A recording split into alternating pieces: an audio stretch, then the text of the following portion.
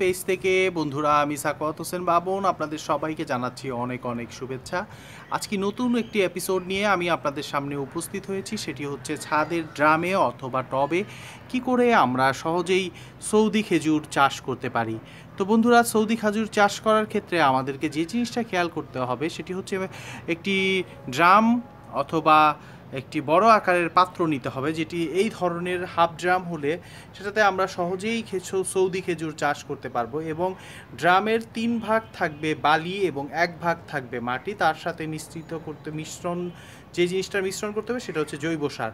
তাহলেই আশা করা যায় সৌদি খেজুর থেকে সৌদি গাছ থেকে আমরা ফল পাবো এবং আরেকটি বিষয় আমাদেরকে খেয়াল রাখতে হবে যে সৌদি খেজুর গাছ যখন আমরা ছাদে লাগাবো, তখন একসাথে আমাদেরকে দুইটা গাছ লাগাতে হবে। একটা হচ্ছে স্ত্রী গাছ এবং অন্যটি হচ্ছে পুরুষ গাছ। কারণ সৌদি খেজুর পুরুষ গাছে শুধু পুরুষ ফুল ফুটে এবং স্ত্রী গাছে শুধু স্ত্রী ফুল ফুটে। দুই ফুল একই সাথে এক গাছে আসে না। তাই স্ত্রী গাছের সাথে অবশ্যই আমাকে একটা পুরুষ গাছ লাগাতে হবে। বন্ধুরা এই ক্ষেত্রে আমাদের যে জিনিসটা খেয়াল করতে হবে সেটি হলো আমাদেরকে চারা নির্ণয় করে চারা চিনে তারপরে গাছে লাগাতে হবে। অবশ্যই যদি আমরা গাছে ছাদে দুইটি পুরুষ গাছ অথবা দুটি স্ত্রী গাছে লাগিয়ে ফেলি এবং তাহলে কিন্তু তার থেকে আমরা কোনো খেজুর পাবো না।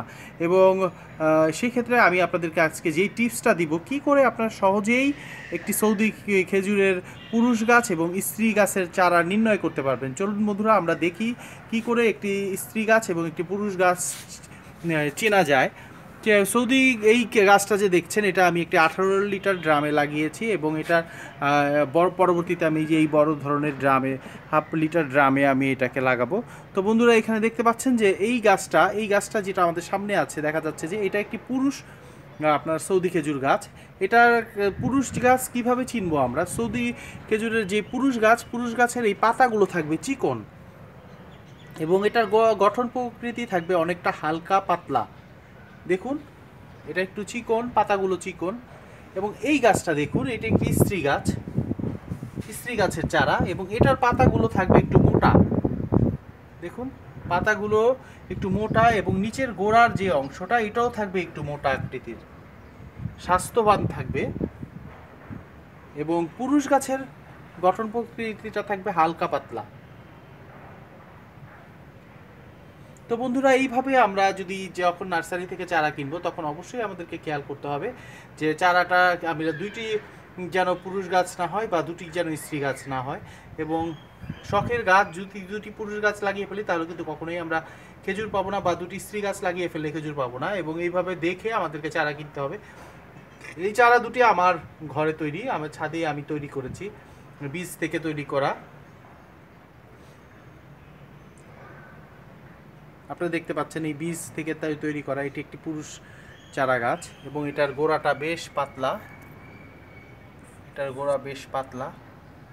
পাতাগুলোর বুননও অনেক পাতলা এবং চিকন। এবং এটি হলো স্ত্রী গাছ। এটার গোড়া বেশ মোটা এবং পাতাগুলো বেশ মোটা মোটা। দেখলেই সহজেই দেখলে বোঝা যাবে যে কোনটা স্ত্রী গাছ এবং কোনটা পুরুষ গাছ। একটু দেখে কিনতে হবে। তো বন্ধুরা, আজকে আমার ছাদ কৃষির এটাই ছিল বিষয়বস্তু ছাদে আমরা কি করে চাইলেই আপনার সৌদি খেজুরের চাষ করতে পারি। যেহেতু সৌদি খেজুর একটি আপনার মরুভূমির গাছ, তাই আমাদেরকে এটা যখন আমরা ড্রামে রিপোর্টিং করব, তখন আমাদেরকে অবশ্যই খেয়াল রাখতে হবে যেন বালির পরিমাণ বেশি থাকে এবং মাটির পরিমাণ কম থাকে। সে সাথে আমরা দোআঁশ মাটি এবং জৈব সার যদি মিশিয়ে দিতে পারি, তাহলে আশা করা যায় যে আপনার সেই সৌদি খেজুর থেকে আমরা ফল পাবো, খেজুর পাবো। আজকে বন্ধুরা এ পর্যন্তই। যে যেখানে থেকে আমাদের এই ভিডিওটা দেখছেন, তাদেরকে অনেক অনেক শুভেচ্ছা এবং তাদের কাছে অনুরোধ থাকবে বেশি করে গাছ লাগান। কারণ গাছপ্রেমিকই দেশপ্রেমিক আবার নতুন কোনো এপিসোড নিয়ে আপনাদের সামনে উপস্থিত হব। যে যেখানে থাকুন, ভালো থাকুন। আসসালামু আলাইকুম।